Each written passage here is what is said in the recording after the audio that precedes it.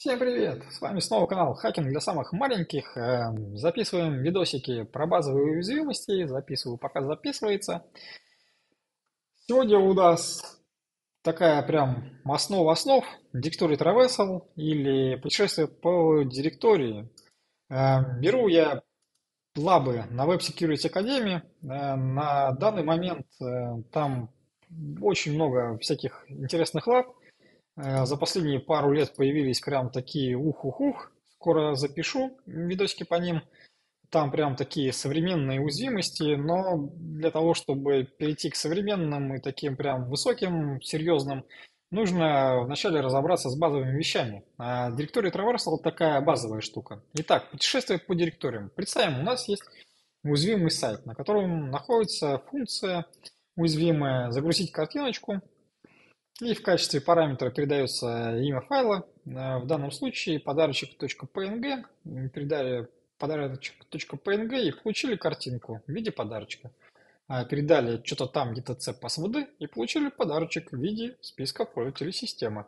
Давайте посмотрим, э, что у нас перед etc passwd. У нас э, две точки слэш, две точки слэш, две точки слэш, две точки слэш, две точки слэш, две точки слэш. Это в принципе и есть путешествие по э, директориям. Итак, давайте посмотрим. pwd. Мы находимся в каталоге YouTube. Э, Говорим, что мы хотим перейти на две точки слэш. И смотрите, мы оказались на один уровень ниже, в дереве каталогов. Ну, чуть-чуть освежим, как это примерно выглядит, дерево каталогов. Есть корневой каталог. Дальше какой-нибудь там есть Home, User, Bin, ну и, соответственно, есть э, каталог ETC, и в нем находится файл password. Допустим, в Linux ETC password э, хранит э, список пользователей системы. Соответственно, кто-то хочет получить этот файлик, прям вот хочет посмотреть, что за пользователь есть в системе. Ну, в принципе, да, довольно неплохо знать.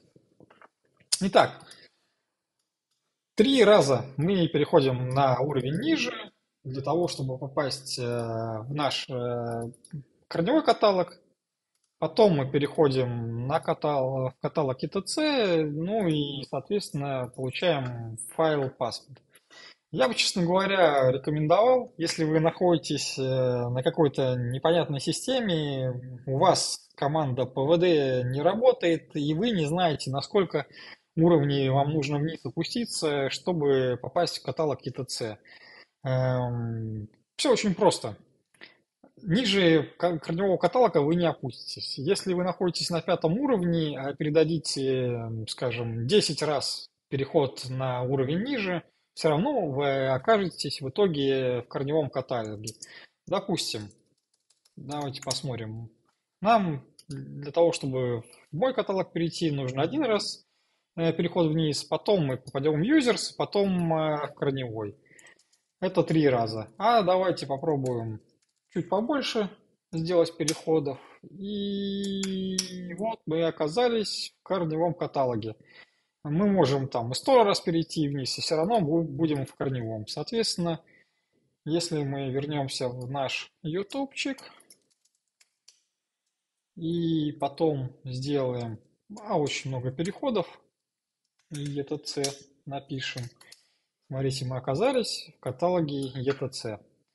Э, Так работает, да, путешествие по каталогам. Конкретно в данном случае это путешествие вниз на дно э, в корневой каталог. Итак, у нас есть лаба, в которой говорится, что у нас есть уязвимая функция, которая нам передает картинки. Давайте скопируем адрес картинки. Смотрите, у нас есть функция image, да, здесь она называлась load image. Э, Файл name. Файл name, да, прям практически с картинки и сделали лабу. Ага, получили картиночку нашу, да? Давайте попробуем какому-нибудь там номер поставить. Ну, such файл, да, то есть он не может найти файл с картинкой 33337 JPG. Вполне возможно, там такого файла и нету. Вот, теперь мы хотим получить наш м, ETC passwd. Давайте мы попробуем провернуть трюк, да, то есть опуститься на много каталогов вниз, и добраться до файла etc password. Опа, что-то здесь там подгрузило. Переходим обратно в нашу лабу. Ура, congratulations.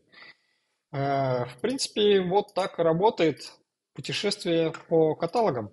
Ну, наверное, на этом все. На сегодня все. Спасибо, всем пока.